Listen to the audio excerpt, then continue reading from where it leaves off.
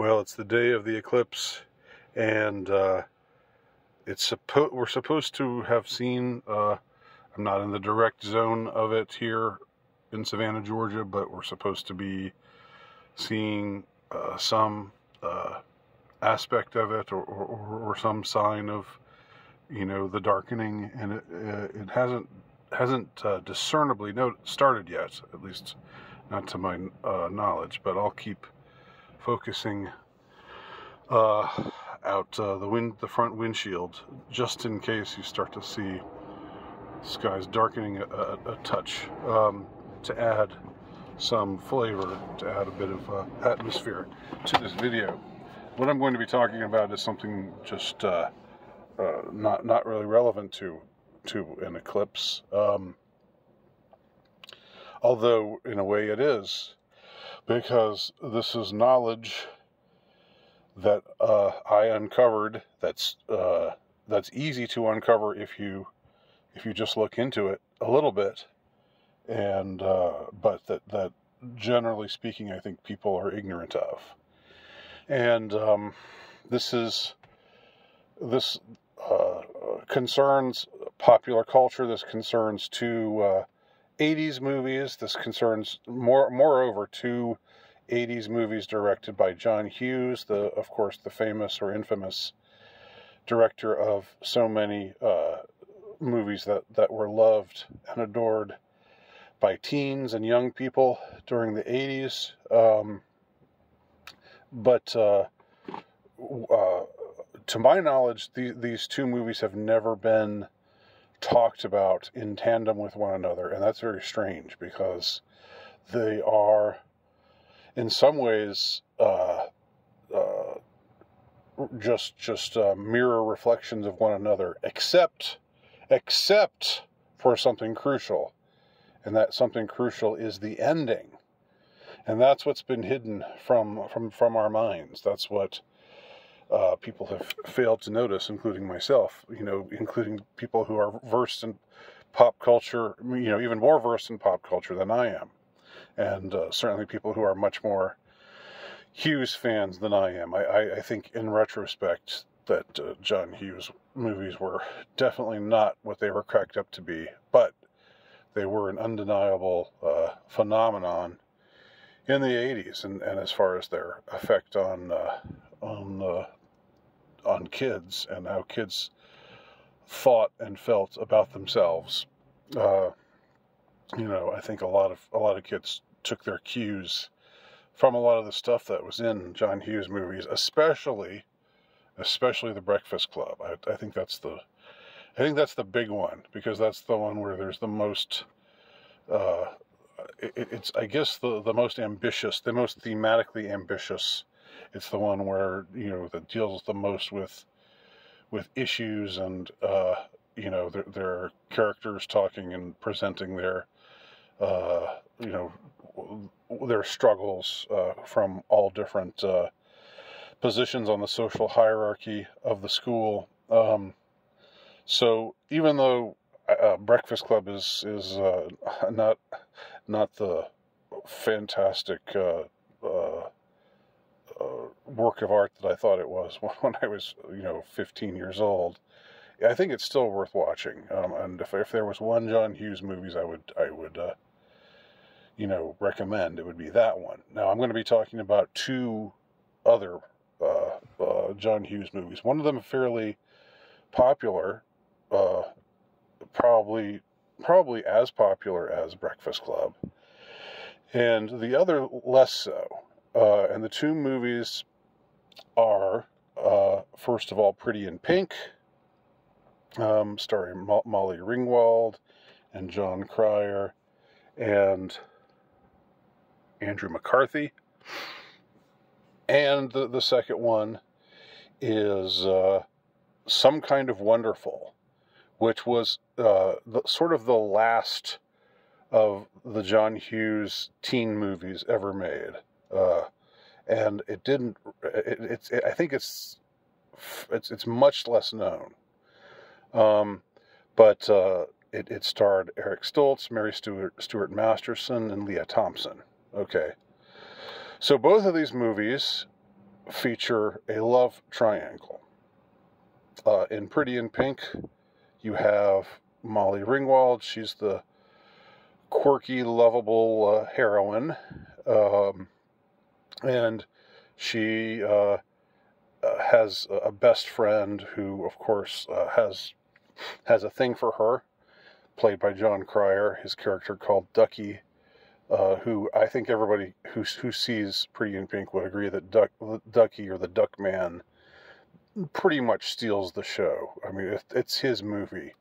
He he it's it's it's not supposed to be his movie, but but through sheer force of personality, uh, he he's the reason why you, come back and watch uh, uh, Pretty in Pink again. At least for me, anyway. I think it's I think it's a hilarious and and uh, very high caliber performance. Um, uh, Jon Cryer's character is sort of is, is certainly nerdy and certainly spastic, um, but very likable.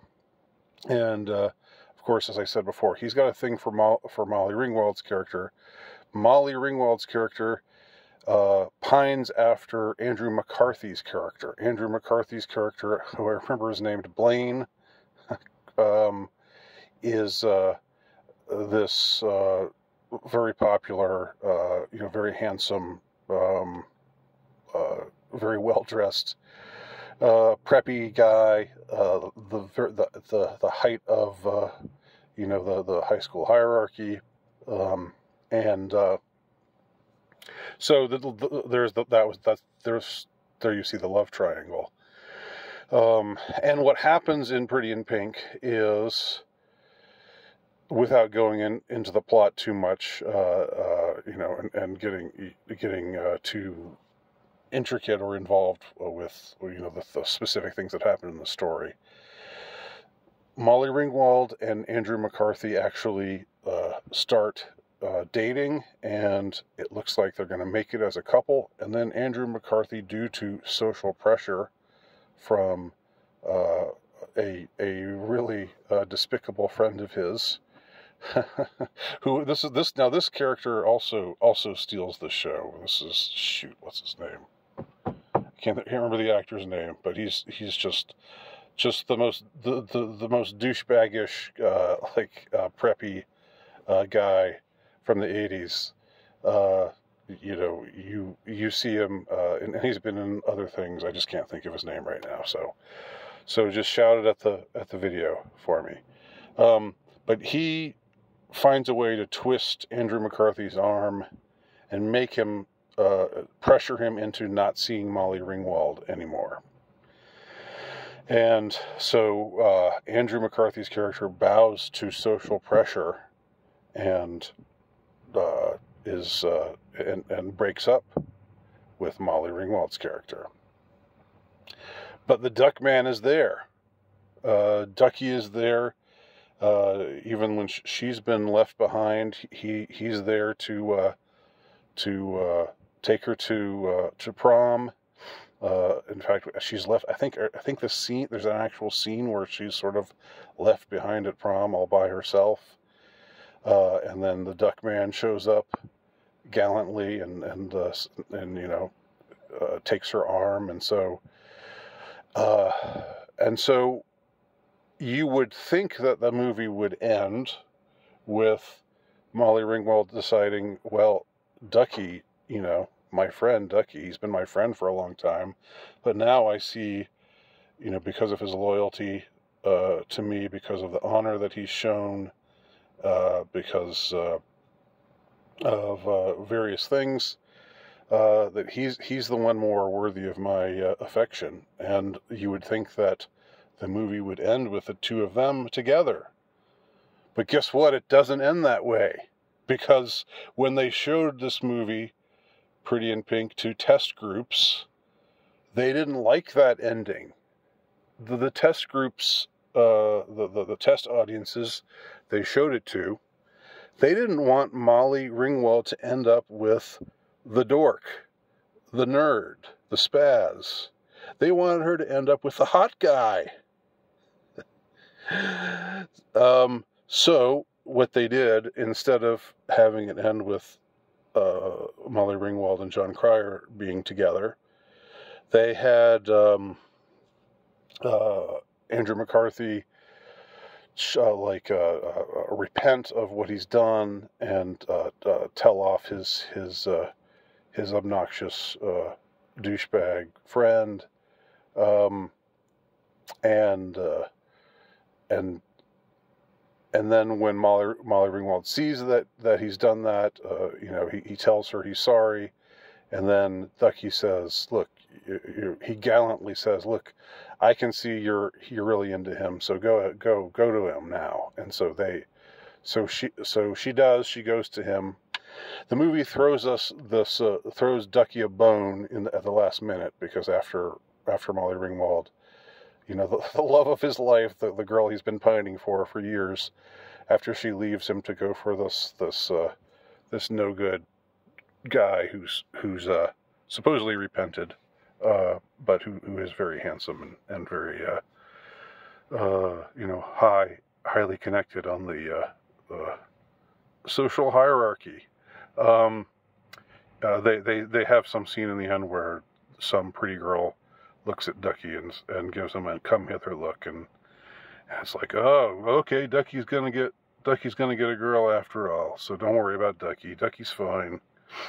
he's just gonna forget about the all the all the time he's been pining for uh, for Molly. Um, so that's how Pretty in Pink ends. Now, some kind of wonderful mirrors Pretty in Pink almost uh, almost exactly. You know, they're they're they're partic- the particulars are different, uh, but uh, it's again about a love triangle, and in this case, the love triangle is. Uh, or the main character of of, uh, of the uh, of the movie is Eric Stoltz, Eric Stoltz is, we're supposed to think he's like, even though he was a, you know, extremely good looking guy, uh, we're supposed to think you know, he's, he's like this, this nerd, this, this like artsy outcast, uh, because he likes to paint and,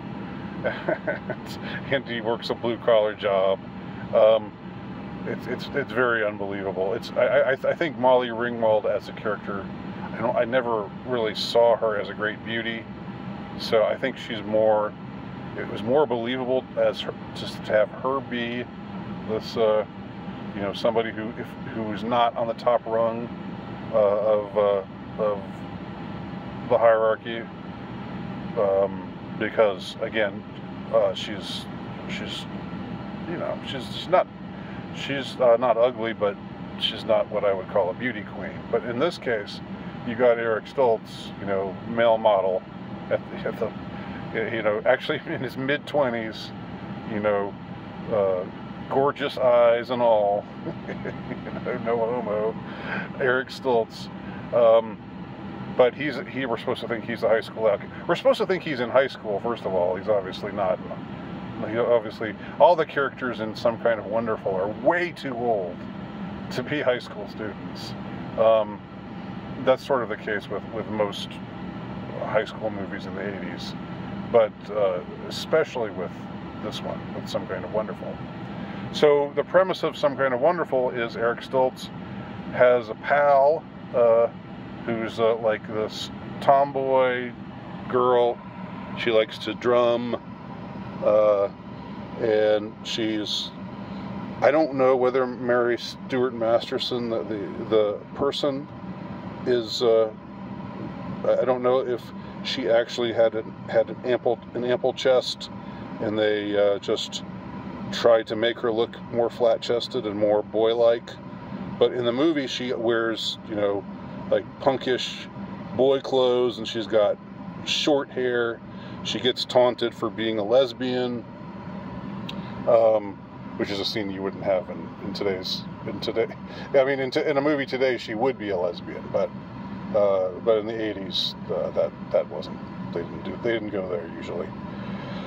Um, no, so so she's she she uh, is Eric Stoltz's friend, but but it's obvious that uh, she's carrying a torch for him, and she's into him. He doesn't see it. He doesn't know it. Uh, um, unlike unlike Molly and and and um, Jon Cryer, uh, you know, in this case, he's he's clueless about that. He's pining after the beautiful character played by Lea Thompson. Um, so, you so again, it's it's this this mirror this almost exact mirroring plot wise, character wise, except this time it's a uh, it's a love triangle with one guy and two girls instead of two guys and one girl. And in this one, the guy is pining for a, a high high status uh, girl, you know, a, a very uh, attractive and um, like there's one very gratuitous shot of her in a bra, like like posing in the in the girls' locker room, uh, you know, where we see all of her curves and and uh, you know just like she's she's posing for a, a you know a, a fashion magazine uh, and uh, Mary Stuart Masterson looks at her and you know looks at looks at her own body and thinks thinks to herself you know um, you know she's she's got me by a mile. Of course in real life if they'd let Stuart Masterson Mary Stuart Masterson look you know, prettier, she, she probably would have been just as pretty as as uh, Lea Thompson. But but in the movie, they, they try to you know they they they boy her up. They they they don't make her look ugly, but they make her look you know less less uh, feminine and act less feminine. She's basically a tomboy, which you could still be in the 80s without being a lesbian. Um, basically, if you're a tomboy today, people just think, oh, that's lesbian coded lesbian, she must be a lesbian. But that wasn't the case in the 80s. People were more people were actually more open-minded, I think, in the 80s than they are today about things things like this, contrary to popular belief.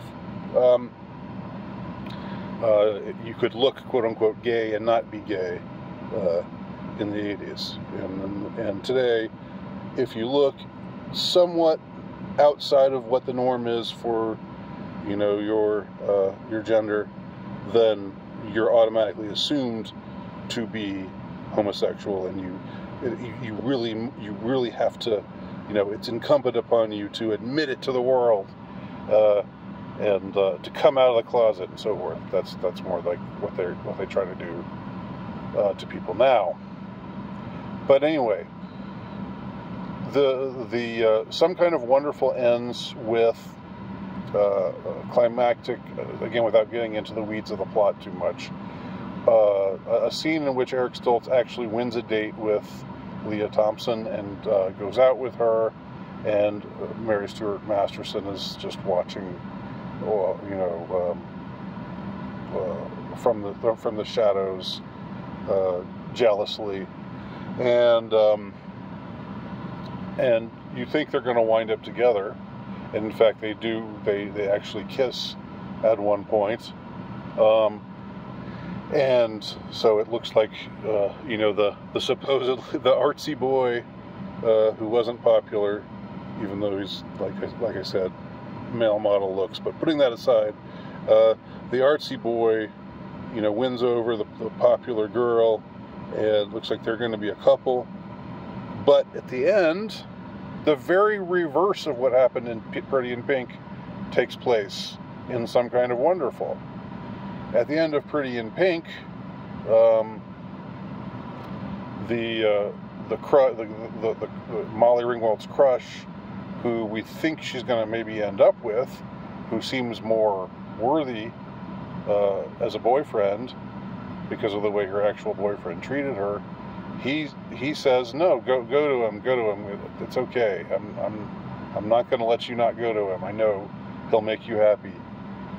And uh, in some kind of wonderful it's the exact opposite. In, instead of uh, eric stoltz's um, tomboy girlfriend or tomboy uh, best friend who has a crush on him uh, instead of her saying look i know i know she'll make you i know she i know you're in love with her and um, so I'm going to be gallant and uh, uh, you know say and go and let you go to her because she's uh, you know one you really want to be with.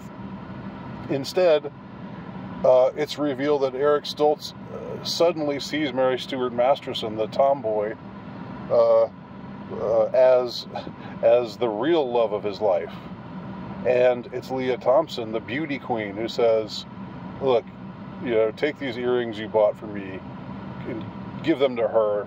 I think she's the one you really you really wanted all along, and just maybe didn't know it." So, so what? In conclusion, what happens? what it, what happens at the end of Pretty in Pink is that the uh, the girl ends up with the gorgeous, uh, popular guy, and ends up leaving behind her uh, her friend uh, who who uh, who loved her, uh, who who was again had a crush on her for a long time, and who who was loyal to her, um, because again and this is this is something that I think has been acknowledged. I think this is this is not speculation on my part, uh, because the test groups all said we don't want to see Molly end up with Jon Cryer. We want to see her end up with Andrew McCarthy, the good-looking guy, the popular guy. But for whatever reason, I don't know if some kind of wonderful was was test test grouped uh, test marketed or, uh, or anything like that. But for some reason, when the main character is a guy, then we have to see him reject the beautiful girl and instead be with uh, the the tomboy best friend um, and choose her at the end. So you see the uh, the the ending is an, is the exact opposite. When it's a female character, when it's a female, when it's a romance involving two guys and a girl, and one of the guys is nerdy, and one of the guys is is gorgeous, uh, then the audience wants the the uh, the girl to end up with the gorgeous guy. When it's two uh, two girls and a guy, and the uh, uh, the and, and, and, one of the the, the, the, the female character who's being overlooked at first, the tomboyish, uh, you know, short-haired, uh, butch cut, uh, you know, uh, punk punk dressing drummer girl. Um, she has to be the one who the the hero chooses over the beauty queen over the, the pretty popular girl. Hmm. Hmm. Isn't that interesting? Why do you suppose that is? I have a theory. Okay? Here's my theory. Uh, my theory is that of the test groups that uh, were were used for Pretty in Pink, um, it was the women who said, "No, we don't want Molly with Jon Cryer, the nerd. We want Molly with uh, Andrew McCarthy, the the handsome guy." And it's my guess that if there were test groups, again, this is speculation, but if there were test groups for some kind of wonderful it was probably overwhelmingly the, the female contingent who the ones who related more to the, the, you know because you're supposed to relate you kind of do if you're a girl watching this movie you know you're pining for Eric Stoltz uh, so you're relating to the girl who wants to be with him but can't be with him and you sort of are hostile towards or, or you, you uh, are jealous of the girl that he really wants to be with, the, the pretty popular girl. So, so it's my it's my theory, my speculation that in order to appease those same, not not the same women, but to appease the female contingent that probably were the ones who made made a stink about it, um, they they opted to do the to go the very opposite route, to have the handsome hero end up with the not so good looking girl, or maybe she'll she'd be good looking if she, you know, dressed uh, more femininely and grew out her hair, uh, and and you know, wore makeup or whatever. Um, but they but but they pointedly don't have him end up with the beautiful girl. So what this shows me is that there is a double standard. Um, and that double standard is, uh, well, when, when you're when you're talking about something in the romance genre, which these these movies aren't they're not just romances, but they are they they there is you know they are uh, about romances, um, and when you have something in the romance genre, women want the girl that they that they identify with, which in Pretty in Pink is Molly Ringwald. They want her to end up with a handsome guy. They don't want her to end up with the nerdy guy, even if the nerdy guy is way more uh, worthy of the heroine. They want to, they want things to be worked out so that you know, even if the handsome guy did bet, did some things he shouldn't have done, that uh, he feels sorry about it, and all that get, gets worked out, and then she ends up with him. Instead of her saying to him, "Look, you screwed me over before. You could, you probably screwed me over again. I know you. I know I can't trust you. I'm going to stick with Ducky. You know, the the nerdy spaz who, but but who, uh, who I know is a good guy. No, they don't want that. They want her to go with the the hot guy.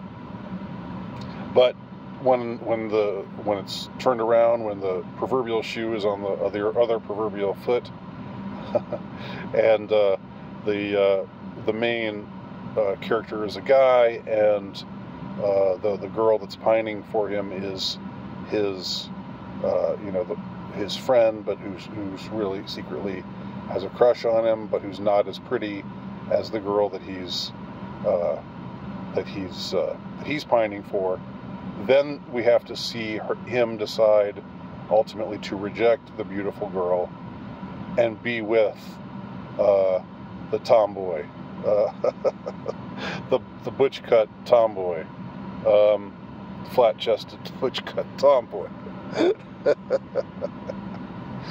I think if if men were more vociferous about these kinds of things, uh, they they would uh, say shoot, you should have gone with Lea Thompson. You know, she was hotter.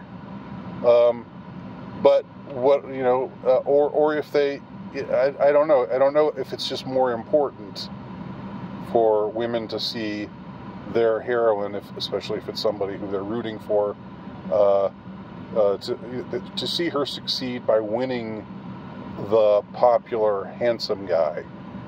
Um, and for whatever reason, it's more important for the guy to to choose uh, to be with uh, the equivalent of what you know what Duck, Ducky was in Pretty in Pink, the the nerdy uh, spazzy guy, um, to be with the less pretty girl, to see that she really liked him all along, and that and and that now she and now he realizes that all along he's actually been in love with her. There's a sudden sudden right turn uh, that doesn't make much narrative sense, but uh, but there you go. Anyway, so that's if you like a red pilled reading of uh, Pretty in Pink and some kind of wonderful. If you've seen those movies, let me know what you think. If you think I've got something wrong, or, or if something's out of whack, or if you want to take me to task, or if you agree and, and want to to add your own two cents, please leave your comments below. Still no real eclipse around here that I can see. All right.